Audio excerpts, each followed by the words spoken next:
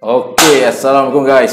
So, kita kembali balik dengan kita punya video. Okay, so hari ni banyak soalan yang tanya dekat dalam kita punya page. And macam mana, apa benda platform yang bagus untuk kita buat trading. Okay, so first sebelum korang trading ni, korang kena clear dulu dengan korang punya objektif. Sebenarnya korang nak trade apa tu? Ah, so dia back to kita balik. Maksudnya kita nak trade apa? Kalau korang sekadar nak invest, nak beli saham, equity, eh, dengan menggunakan platform, local platform seperti Maybank Investment Bank saja pun dah cukup. Uh, so korang just menggunakan Maybank, korang pun boleh beli saham-saham di local ataupun di overseas seperti Dow Jones, uh, uh, Nasdaq, Russell ataupun uh, macam di Hong Kong ataupun di Singapore ataupun di Australia. So korang kalau korang nak beli nak go for investment, nak beli saham eh, yang kita cakap pasal saham eh, korang boleh menggunakan local punya broker. Eh, sebab local punya broker ni tak ada beza sangat lah antara uh, Maybank, RHB, M+, apa benda semua tu. Basically dia depends on reminder. Perbezaan tu depends on the service tu lah apa yang reminder you bagi. Eh, so tapi saya suggest kita menggunakan Maybank Investment Bank. Okay. So kalau korang nak go for another instrument, contohnya kalau lah korang nak trade option. Option pun dekat luar sana pun macam-macam platform ada. Eh, seperti kita ada Saxo Bank, kita ada uh, apa ni, uh, Testy Work, kita ada Think or Swim. Basically macam-macam lagi lah sebenarnya. Eh. Macam-macam platform lagi ada sebenarnya. Eh. Tapi yang kita guna adalah tiga ni lah. Eh. Uh, uh, Saxo Bank, Testy Work, Think or Swim. So antara tiga-tiga ni pun dia ada advantage dengan disadvantage masing-masing. So korang kena tahu lah objektif korang nak apa. Kan?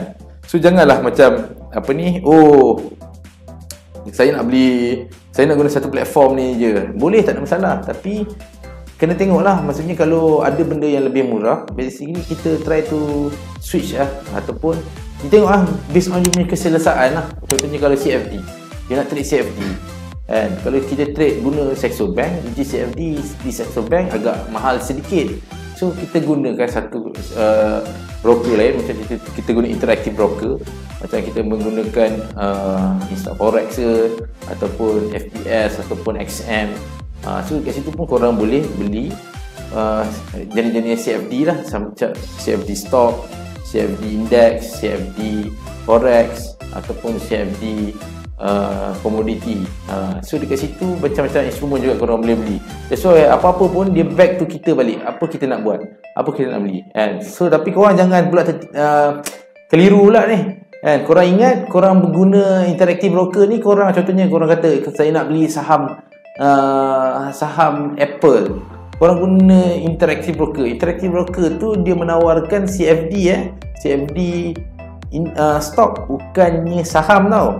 Ha, so korang kena pandai beza tu kan? Sebab kan CFD stok ni kan? Korang boleh beli dengan serendah 0.01 lot lah kan? Tapi sebenarnya kalau korang nak beli uh, Satu saham Basically eh, minimum satu unit uh, So contohnya kalau kita nak beli Facebook Contohnya 200 dolar And you kena ada 200 dolar lah untuk beli equity dia Tapi kalau contohnya Korang nak beli 0.01 lot Basically kita akan menggunakan interactive broker lah. Interactive broker tu macam Instaforex ataupun XM atau macam-macam lagi lah. So sebenarnya semua tu berpad, uh, based on apa yang kita nak lah. Uh, So kita kena tanya dulu diri kita kita nak beli apa. Uh, Kita nak trade apa ni? Uh, Jangan semua korang nak pedal. Uh, Lah kali apa pun tak dapat So apa pun korang kena stick dengan korang punya investment objektif. Uh, korang kena clear dengan benda tu dan barulah korang decide sama ada which platform korang nak guna. Ok so sekian. Terima kasih. Assalamualaikum. Hai.